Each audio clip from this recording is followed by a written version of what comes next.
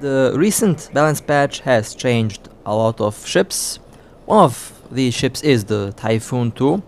The ship did receive a new bonus and overall the other stats have been slightly reworked. Now, uh, this Typhoon is going to be my primary PvP battleship very soon.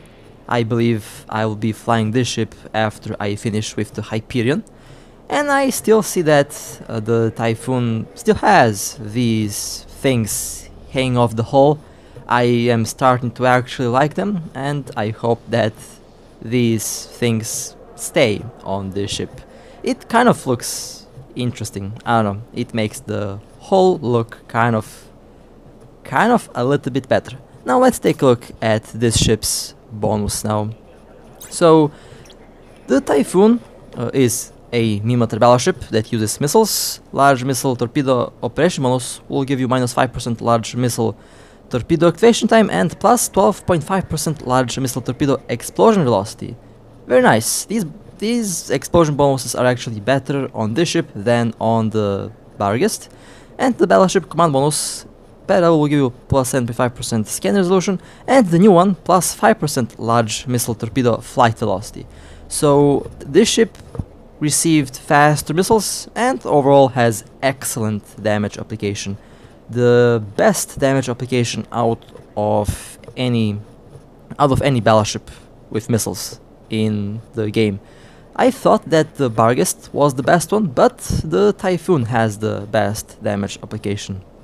Ship has two drones, 8 high slots, 4 medium slots, 6 low slots, 3 combat and 3 engineering rigs, the Typhoon can be both a shield and armor tank, in my case I like to use the ship as a shield tank, but if you like the armor tank, that works as well. And the rest of the stats are roughly the same. Overall, a very very nice battleship. It's also very fast, one of the fastest battleships in the game. The fastest battleship is the Nestor. I achieved 3.5 km per second on that thing. That that ship is ridiculous, and I think the Nestor did receive a couple uh, new stats, and the overall bonuses were improved. So uh, I'll definitely be flying that ship again just to see how fast and how much DPS I can get uh, out of the Nestor. But for now, uh, for today, I'll be flying the Typhoon. Now for this part uh, I will show you uh, my build and the overall builds that I will use on the Typhoon 2. Current missiles have large rapid missile launchers. I like the large rapid missile launchers, they are both good at shooting down battleships, battlecruisers, cruisers, frigates, interceptors. They are generally excellent uh, for basically everything in uh, in the game. They're going 5.9 kilometers per second, 140 meter per second explosion velocity, 79.3 meter is the explosion radius, 56.87 kilometer is the missile range. So that's pretty good. It can easily shoot down cruisers, it can easily shoot down frigates, and you don't have to worry about long range tackle interceptors, you can easily shoot down those as well. In the medium slots I have one tracking disruptor, guidance disruptor, one web and a scrambler. I use a micro drive, dual adaptives, capacitor battery. These are the C-type adaptives, okay, just to make sure. One hook missile guidance computer. I start to prefer range on the missiles and explosion radius and explosion velocity over raw damage on the missiles because the Typhoon is all about the damage application. It does apply damage a lot better than the other battleships, including the Barghest. As for the other fit, you can easily swap uh, the medium slots with a web. You can easily go dual web, dual Nosferatu, dual neutralizer. Target painter also works really well. Overall, I would place uh, this current fit with a tracking disruptor and a guidance disruptor if you are running missions in low sec, easily preventing other ships from doing damage to you and forcing them to actually get closer to you well within the web and scrambler range, especially effective against interceptors. And other uh, fast ships that rely on range in order to apply damage, including the Ortus. The Typhoon is one of the one of the deadliest ships to fight with an Ortus because of the damage application and missile range that you can have. These are the stats on the tracking disruptor. Again, very good against uh, small ships that use turrets. Very good against practically all ships that use turrets. And the guidance disruptor is good against all ships that use missiles, including interceptors, frigates, battleships, and things like that. It will force a interceptor to actually get close to you in order to start doing some damage to you. And once a interceptor gets close to this ship, well, it's it's very much dead. Now, uh, the other fit that I did play around with is with dual missile guidance computers. It gives ridiculous range on the rapid missiles, and of course other stats are getting improved. Faster explosion velocity, smaller explosion radius, and of course longer range 60.93 km cold range with dual missile guidance computers. You can use a afterburner with dual Nosferatus on the Typhoon without a problem. This ship isn't known to be the tankiest battleship. The Typhoon is fast, so it kind of relies on avoiding damage, so a speed tank does surprisingly work really well on the Typhoon. You can easily speed tank low sec missions, storyline missions, and encounters orbiting at 55-50 kilometers, and you should be safe.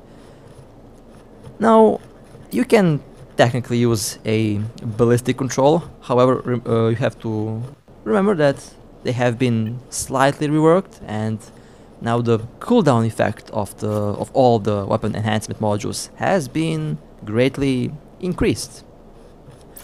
These are the rigs I use dual 4P and one 3P rig integration on the Typhoon. Basically, I want to improve the missile velocity, the missile range, explosion velocity, and explosion radius. That's the primary thing that I went with the Typhoon, and I'll be using this exact. I'll be, I'll be using these exact rigs for PvP as well. If you don't want to spend around 3 billion in rigs, then uh, I recommend that you go to improve the missile range, explosion velocity, and I would improve the explosion radius. Those are the three primary three primary missile parameters that you want to go for with the Typhoon. You want to improve the damage application as much as possible. And again, uh, here we can take a look at the stats. Will be interesting to see the active stats when the missile guidance computers are activated. I expect around 100 kilometer range with with rapid missiles, or 120 kilometer range with dual uh, dual guidance computers running. So I'm very excited to see how ridiculous the range on the rapid missiles will be on the on the Typhoon. Now uh, you can also use cruise missiles uh, for the long range combat. Cruise missiles have very nice velocity. They have okay uh, explosion radius and an okay explosion velocity. However, the range is ridiculous. 179 km with the C-type large missile launchers or the C-type cruise missiles. They have 22.2 seconds flight time, below 10 seconds. The range, well, the range is ridiculous. You can easily orbit manually at 160 kilometers and you can practically do storyline missions. You can do PvP if you like, encounters, and you don't have to worry about any ship that will jump in your mission. Now, uh, I will most likely use a capacitor battery on my Typhoon alongside with the micro warp drive. And if you have capacitor batteries, you can easily use dual neutralizers. Sacrificing one guidance computer reduced my range to 167 kilometers, and some other parameters have been affected as well, but the change is minimal And overall, uh, if you need capacitor and if you want to fit neutralizers, then the capacitor batteries on this ship are a very nice and valid choice. And you can also uh, fit the tracking and guidance disruptor against interceptors, frigates, cruisers or anything else that can easily tackle your ship at a safe range. Although I'm not quite sure if there is something called safe range if you are fighting a typhoon. Now I don't use torpedoes that often, but here you can take a look at the torpedo stats. They're good at close to medium range. With the Typhoon you can get around 50 kilometer range with the torpedoes.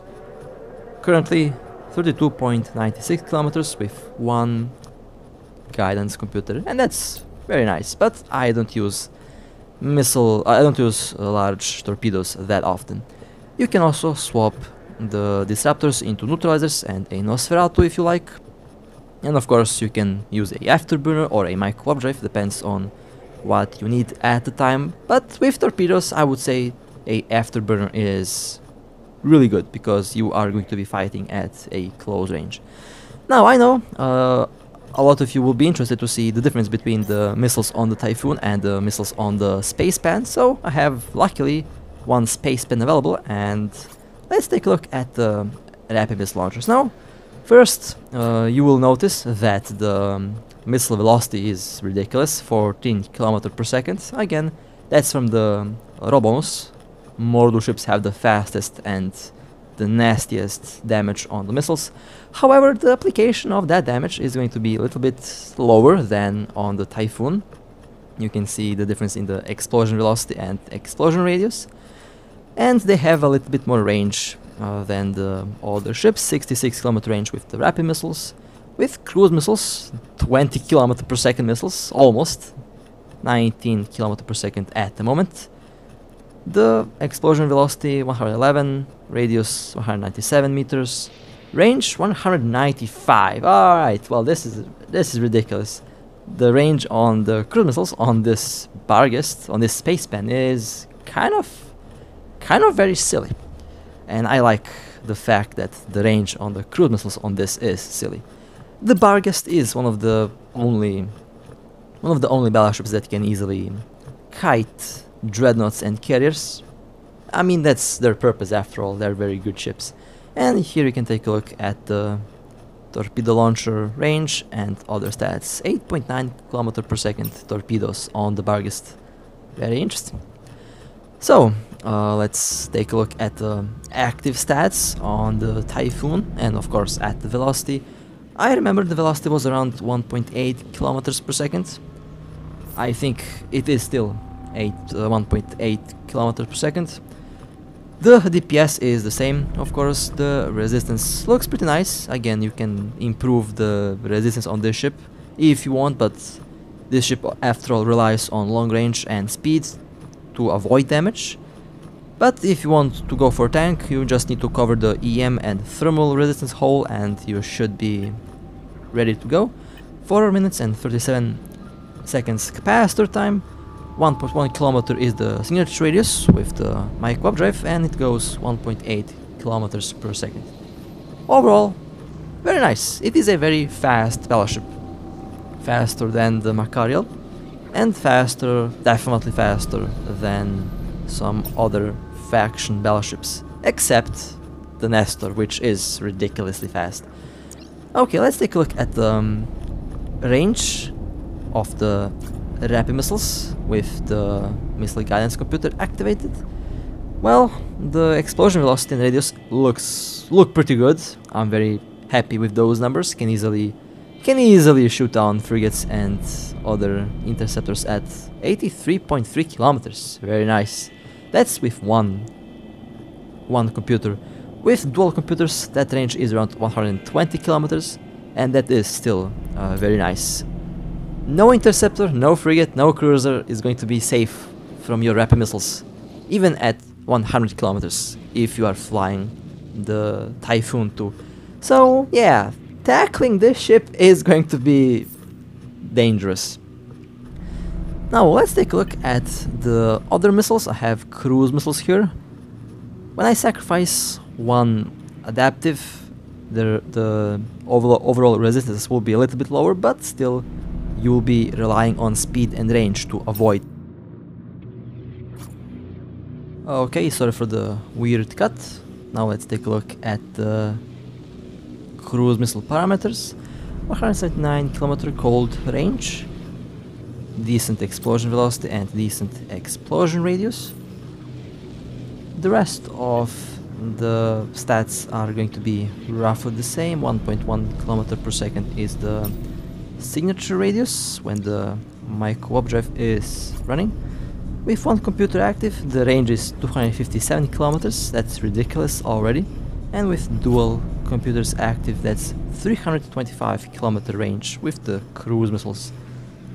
109 meter is the explosion radius, and 185 meter per second is the explosion velocity, 8 kilometer per second is the cruise missile velocity. You know, this is actually very, very ridiculous range, and um, should be enough for, I think, everything in the game. Should be enough for encounters, should be enough for storyline missions, should be enough even for PvP if you want to be a sniper with with the Typhoon. Now, I know you are interested to see the missile range on the Spacepan, 306 kilometers with one, and with dual computers the range should be 387 kilometers. Well, um, okay, that's uh, almost 400 kilometer range with the cruise missiles on the Spacepan. Yeah, definitely more than enough for PvP, PvE, or even, or even I don't know. I don't even know why you need so much range, honestly. But let's take a look at how how this ship will perform in a random mission. Now uh, I'll be doing some manual flying here. First, let's do something silly. Let's see how long it will take for the cruise missiles to reach that bomber from 200 plus kilometers. I will go and try to launch the missile from from a ridiculous range. I have dual guidance computers, so the range, the maximum range should be 325 kilometers. The missiles are going 8 kilometers per second, so it will take a while for the missiles to reach the target. But that's one thing, one thing to talk about it, the other thing to actually do it, so let's actually go and take range. After that I will go and clear the targets with manual flying the Typhoon can be flown with this build easily in storyline missions, and you really don't have to worry about anyone jumping in your mission, because the maximum range that other players can jump at you is 100 kilometers, and you are going to be already moving with the mic warp drive or afterburner, so it's really difficult to reach this ship. You can easily warp away when needed.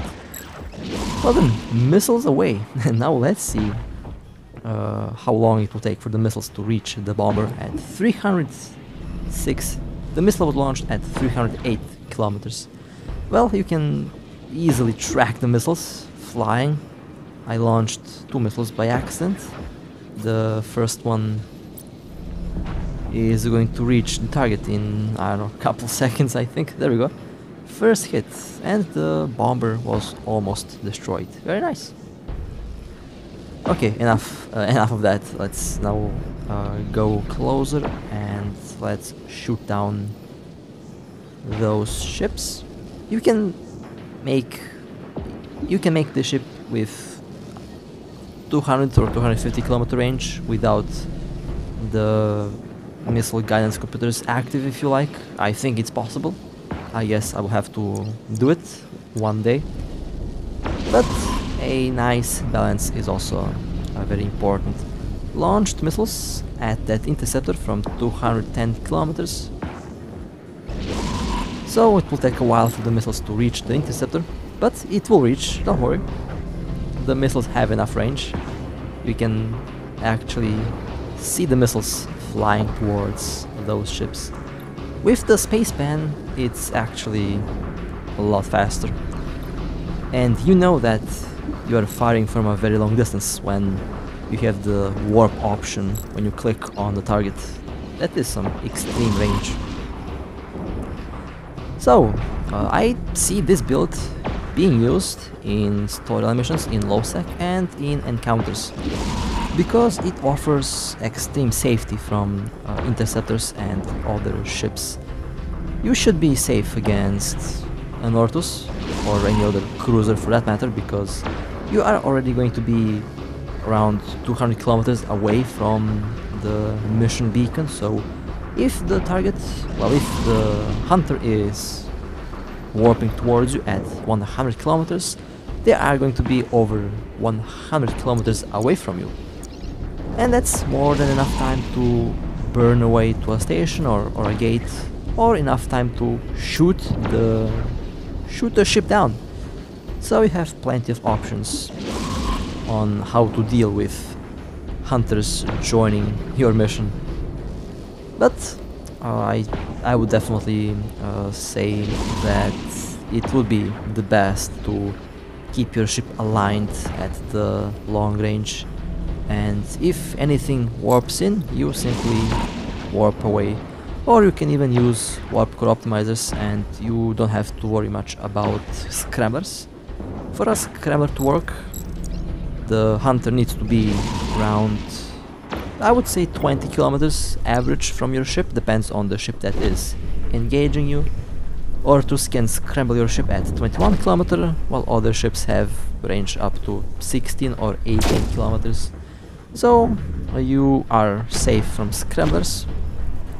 You are even safe from long range points, which work on average around 45 kilometers, some work at 55 kilometers, and very rarely you will see 60 kilometer points. You are going to be at 150 kilometers from the nearest enemy, so you have really plenty of time to warp away or shoot down the the hunter if they decide to jump in your system. Now you still don't have to worry about that because the Typhoon is one of the best ships that can deal with interceptors or other cruisers, especially after we consider the fact that it has the best missile application damage in the game. Now I will go closer to the Megatron Striker, I'm at 148 kilometers away. I really don't remember the ship having so much range. I kinda forgot what type of build did I use on the previous Typhoon 2 video that I did a while ago. But still, the range on, on this thing is ridiculous and I found out that the damage application is a lot more important than the raw missile damage on these ships. And so far, the Typhoon is really fun to use. And what is also very interesting, the skill requirements for this ship are not that bad, honestly. You really only need the basic skills for the missiles and battleships in order to fly the Typhoon. And that is very exciting and very nice. Okay, I have swapped my build into the rapid missile build with Typhoon. I added a little bit more tank. I have sacrificed one guidance computer for another adaptive shield hardener. Although honestly, the speed tank on the ship is more than enough to sustain the shield. And again, you can easily use dual dual computers for the rapid missile launchers as well. It works really well against frigates and interceptors, let me just say that right away. If you don't like interceptors, if you don't like those those fast little ships, then the Typhoon is the ship for you. because if an interceptor tries to tackle you at 50 kilometers, or Daredevil or any other ship, you just slap them with the rapid missiles and, well, they will have to warp away. If they don't warp, they will lose the ship. So, uh, this is one of the reasons why why so many players love the Typhoon, and I also love this ship. Cannot wait to actually start using this thing into PvP. Currently I'm playing around with the Hyperion and the Hyperion is using the exact same fit that I did show here before I actually started to fly it. That Hyperion is truly tankier than I have expected. Definitely tankier than I have expected. That ship blew my expectations. It's amazing. As for the good old Typhoon, well, uh, I believe I will have the same experience with this ship. I plan, I have some very, very nice ideas that I will use the Typhoon for and I think he will also enjoy that. Let's say I plan to shoot some capitals. Let's just leave it at that because at the moment I actually prefer the Typhoon over the Spacepan, although I would say the Spacepan does a little bit more damage, but the Typhoon does apply the damage a little bit better, so when you compile all of those numbers, you actually find out that damage application is actually a lot more important. And the Spacepan is a very big target. Everyone wants to shoot down a Spacepan, but the Typhoon does not have that type of attention on it, so the ship is, in that aspect, a lot safer to fly than the Spacepan. However, the Spacepan has longer range and can easily play around with capital ships at 300 kilometers, and that is something impressive. Uh, rapid missiles are doing uh, really good damage so far. They have a very nice rate of fire. Practically, if you have dual computers, dual guidance computers, then you can fire off around 8 to 12 missiles at a interceptor that's orbiting at 45, 40, 50 kilometers. And each hit will do a lot of damage to the interceptor. And of course you have to remember that the interceptors don't have a lot of shield, don't have a lot of armor. So they will lose shield and armor very quickly.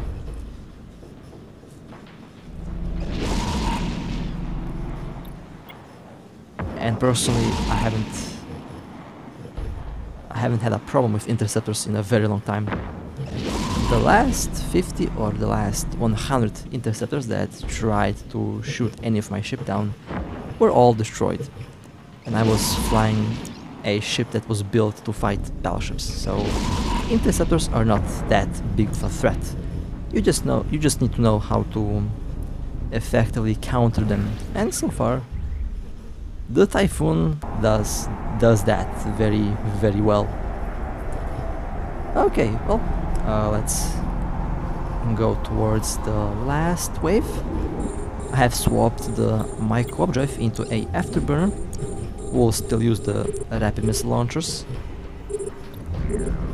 The rapid missile launchers are the perfect balance between range and damage.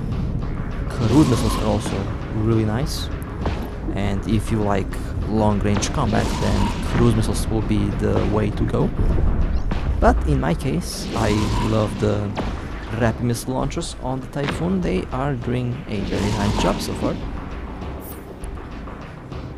Now let me just quickly take a look at the speed with the Afterburner 851, well that's not bad. I can make it, I can definitely make it a lot faster. I think I have one auxiliary thruster rig on the Typhoon, one or two auxiliary thrusters, but the Typhoon feels, feels like it should be using a mic warp drive, if, especially if you orbit at medium to long range. From my personal experience, I've found out that ships that orbit while running the mission are very difficult to catch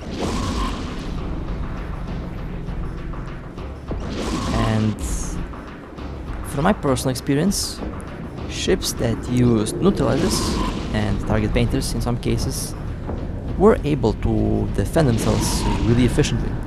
The main thing that you should keep in mind is to have a good fit on your ship and if you have a good fit, if you know what you're doing with the ship, then you don't have to worry about anyone jumping in your mission or you don't have to worry about anyone in low sec or null sec. A bomber will die very fast from a typhoon. Interceptors will also die very quickly. And if you are maintaining a orbit, then even if you're tackled, you have time to shoot down the tackle and to warp away before the main fleet arrives. And that has proven itself to be uh, very efficient. I know a lot of players who do that and who haven't lost a ship in a very long time.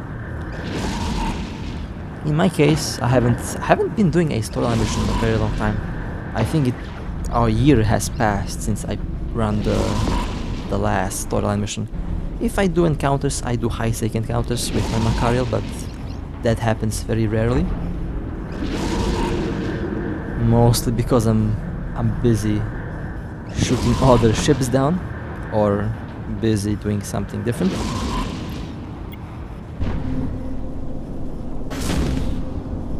And I love the fact that each of the tier 10 battleships have has it, it, its own thing. The Hyperion, for example, has insane repairs, but this ship is not that fast and has very poor range and tracking, but it's super tanky. Abaddon has a good tank, good armor, but it's extremely slow. It has good DPS, good damage, and overall lasers are very nice. Tempest and Maelstrom are also really nice ships. Tempest a good brawler and sniper, Maelstrom very good tank and a very good brawler. The Typhoon, well, uh, you already know what I, what I what I say about the Typhoon. That thing is absolutely insane. I love the Typhoon. And I think I missed the Raven Striker is is okay. It can be very tanky, but the striker mode on that thing is is not the best. Let's just keep it at that. But it does uh, very nice overall damage outside of the striker and can be super tanky. So practically every every tier 10 battleship has its own thing. All of these ships have their own strengths and weaknesses that you should know and of course make sure to take advantage of the strength and of course make sure to avoid all the weakness of weak, weak spots of the ship. That way you will make sure that your ships run really well. Well then, uh, that would be for the Typhoon for now. Definitely looking forward to fly the ship into PvP. You know me, uh, when I say that I'll fly something in PvP, I definitely will. The Hyperion did go through the same process and the Typhoon is now completing the same process and I'm very excited to see what type of what type of kills I'll get with the Typhoon Initially I thought to go with the Typhoon first and then with the Hyperion, but then I, I, saw the super tank of the Hyperion and then I just decided to go with the Hyperion for now. But after the Hyperion has completed its journey, it would be time to go and take out the Typhoon out for a spin. And well, with that being said, hope that you enjoyed, stay safe, fly safe, and I'll see you next time.